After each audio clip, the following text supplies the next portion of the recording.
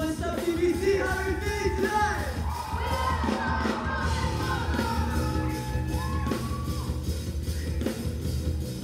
Thank you.